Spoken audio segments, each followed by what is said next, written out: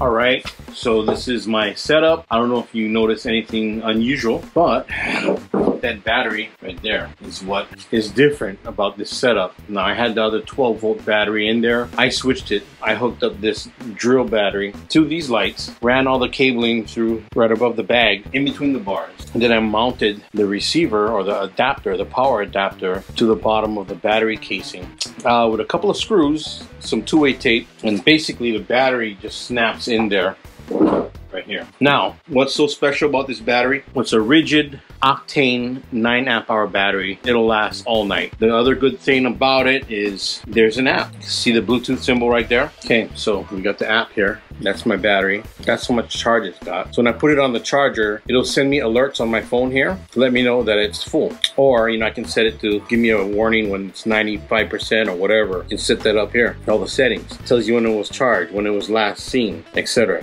Uh, you guys know what tile is. This works sort of like the tile. So you can hit identify and there's a, a blinking light on the front on the charger side where it has a, a bunch of uh, metered lights there to tell you how much charge you have in the battery. Or you can hit locate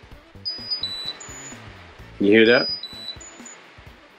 So just like a tile. And if someone uh, takes your battery, you can lock it out. So as soon as it gets a Wi-Fi connection or Bluetooth or whatever um, out there in the field, you can hit lock or swipe the lock, it'll shut the battery down. You can check it on the map. There it is, it shows up over there. Let me hide this now. Temperature, how many hours you used it, how many charge cycles, everything. Uh, when it gets below, like when it gets to 10%, it'll send me a notification telling me that I need to charge the battery. So that's the good thing about that. And also it's powering the lights. It, it'll last all night and it doesn't affect the battery, the stock battery in the Super 73. Now, I didn't want to tap into the stock battery because I didn't want to take away from that, you know, take away from your range and all that other stuff. But came up with this idea because when I purchased these lights here, it's listed 12 to I believe 36 volts. So well, I could just plug them into the uh, stock battery and wire them in there. I figured, you know, I want to keep something, keep it separate again, so I don't take away from the main battery. So this is the idea I had. I saw online that they sell these battery adapters. Say, for example, a Ridgid power tool battery, and it slides in like that and it's great. So what I did was I bought a cheapo uh, wiring kit off of eBay. I think I paid eight bucks for this and it comes with a fuse and an automotive relay. So I got that. I actually shortened this all by several feet because it's a lot of wire. And I have the leads coming off of here right? Positive negative. That goes to the battery which I just snapped in. And then I got this DIN plug here. Which is another uh, might have been around 10 bucks I think. I can't remember. I got this off of Amazon and it's a 6 din plug. It's waterproof also so that snaps in there like that. I wanted to make everything quick connect, except these, I hardwired these to the whole harness here. And I have the light switch here. Originally, I wanted to do a three-way switch so I can go turn one light on or turn them both on. Um, right now, they're wired up with this switch here. So they both turn on at the same time. And I got the brackets for these mounted on the front of the bike, so they're adjustable.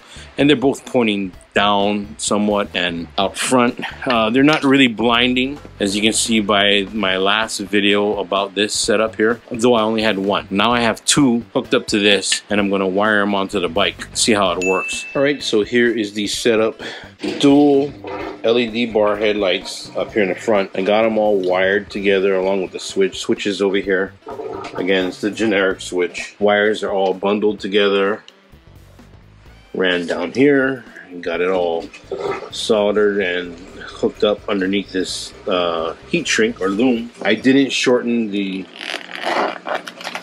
wiring harness, so that's all in here right now, just for convenience sake. Then it runs through, not through the frame, but in between the frame, the top bars.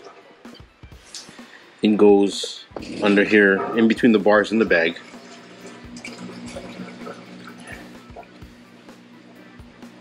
And of course the battery is attached to the seat. It's pretty snug. There's two screws, uh, a lot of two-way tape on there. I'll see how that holds up for now. I might put something like a epoxy or add two more screws. There's actually six holes or pukas in the adapter here.